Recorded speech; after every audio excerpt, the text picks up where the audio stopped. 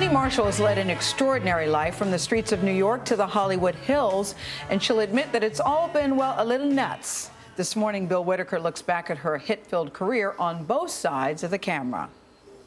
Hey, Fonzie! Hey, the Fazio! It was a date with the Fonz on Happy Days that started Penny Marshall on her journey to the Hollywood A-list.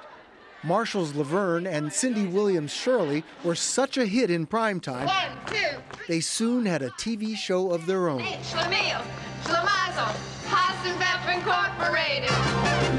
Laverne and Shirley debuted on January 27, 1976, and by season three, it was the most watched television show in America. Okay, I don't want you to panic, so don't look down. Don't look down, Cheryl. After seven years on top, Marshall's friend Whoopi Goldberg convinced her to move behind the camera, I don't dance, Mr. Talbot. directing Goldberg in Jumping Jack Flash. How'd you do that? Her sophomore effort, Big, turned out to be huge. And Marshall became the first woman to direct a film that earned $100 million at the box office.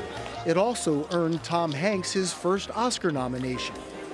Are you crying? There's no crying. There's no crying in baseball. Marshall went on to direct a string of memorable films. That's not waiting, that's swimming. Come on, Leonard. Leonard, I don't know if the hospital's covered for this. defined by both their humor How am I going to tell my parents about this? I can't even talk to them about the weather. How am I supposed to tell them that I committed a mortal sin? and heart. For CBS This Morning, Bill Whitaker in Los Angeles.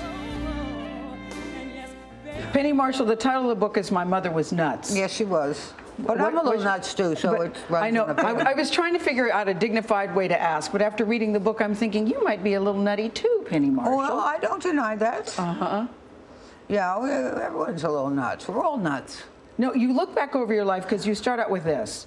You had to, uh, not much personal drama, growing up with parents who hated each other, two marriages, divorces, the ups and downs of various relationships, raising a daughter, watching friends crack up and overdose. There was that cancer thing too. But when you look back over the body of your life, don't you think all in all it's turned out okay for you? Absolutely. I knock, knock, Knock on something wood. Under here Yeah. is wood. This is glass. I don't know what that does. Um, but yes, no, I've been, lived a lucky life. I think a lot of life is luck. You talk very candidly about your looks. You were in a commercial with Farrah Fawcett. There was a movie role where it said, then we're going to go to the plain girl doing something. Homely girl. Homely girl. Homely girl at bar. Homely girl at bar, Penny. Why do they write that? I don't know. I don't know. And, and but you talk very candidly about how you were never happy with the way that you looked. Still not. I was going to ask you at this age now, don't you feel? Haven't you gotten to the place where you go, this is who I am, I'm comfortable in my own skin, or no? I'm a little fat. I'm a little chubby here. But you're on Jenny Craig. Yes, but I didn't get it off of here yet. Penny, is there such a thing as the good old days? Because you were married to Rob Reiner, and your house seemed to be the place where everybody came. We were the stable couple, if you could imagine that. no, you say that. I mean, the names, Nora, that used Yeah. to come to her house. Talk about those days where pe- who We- would come over just to sort of relax at Penny and Albert Rob's? Brooks, who was Rob's best friend. Yeah. Um, Billy Crystal came over, Jim Brooks. There were a lot of writers, Jerry Belson, Harvey Miller, uh, you know, who had passed, but, you know, Chuck Roden. I mean, whoever was around came Uh-huh. over, and they'd be funny. You, you write a lot about the drugs. Well, that was the 70s and 80s, baby. Yeah. And And what weren't about born. I was born. but none of that now. None No. of that now. Yeah. No, I did it. You, you, you talk very candidly about the drugs, and then if, if that isn't enough, you get a, a brain tumor and cancer. Yes. And you point out that uh, you're one of the few people that actually gain weight on chemotherapy. Most people lose. 60 pounds. Yeah, but you gain weight on chemotherapy. And I got hard nails. Yeah. I know, but Penny, once that happens to you, do you have a moment where you go, why, why me? Did you ever have that moment? No, I asked for White Castle. Yeah, you, you did. You did. I mean, I deal with tragedy, or I deal with bad things very calmly. And um, when I'm bored is when I'm in trouble. You talk about Tom Hanks and Big, which, by the way, Nora, if it hadn't, if it had gone a different way, Rob De Niro would have been in Big. I just oh, can't Oh, even yeah. imagine anybody Yeah. other than Tom Hanks in that Well, role. no, we went to Tom.